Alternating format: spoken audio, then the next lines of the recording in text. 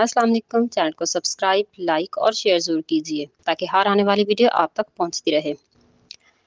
वालदेन की बातों पर इतना यकीन तो रखें, जितना आप दवाई पर रखते हैं।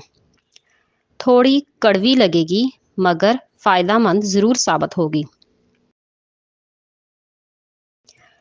अगर देर का मतलब इनकार होता तो अल्लाह ताला चालीस साल बाद हज़रत यकूब अलैहिस्सलाम को हज़रत यूसुफ अलैहिस्सलाम से ना मिलाता।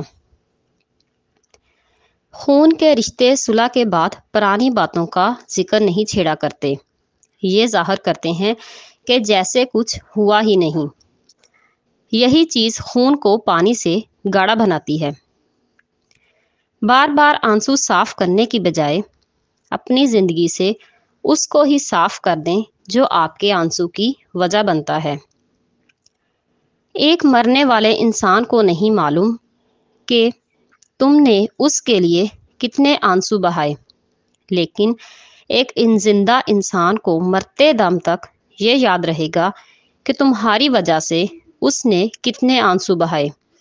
जो भी रिश्ते पास हैं, उनकी कदर करें।